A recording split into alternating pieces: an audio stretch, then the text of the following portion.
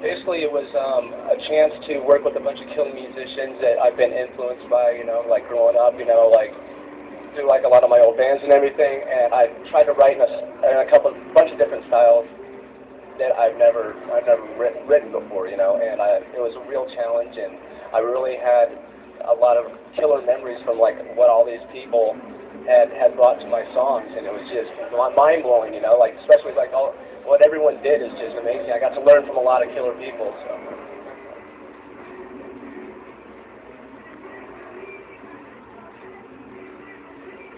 Maybe, yeah. I mean, um, there's I just like to, my passion about music is always just trying to write a better song each time I do it. So um, the the more I work at it, hopefully the better I'll get at it. You know?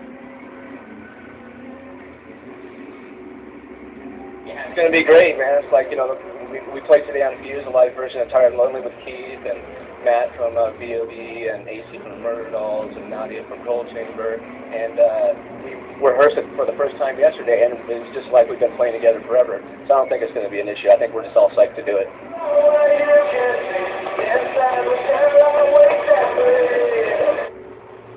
Yeah, of course. That's what, like, all these songs that I did, I wouldn't bring those to Slipknot. So I, I I'm glad I they they poured out of me. I got them done in like a month and everything. So.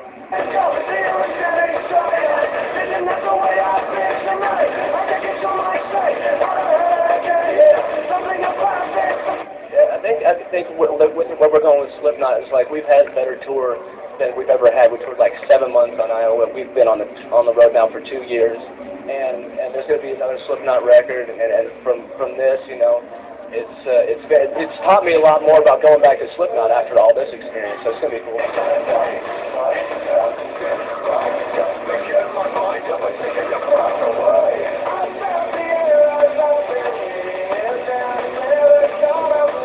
Not right now.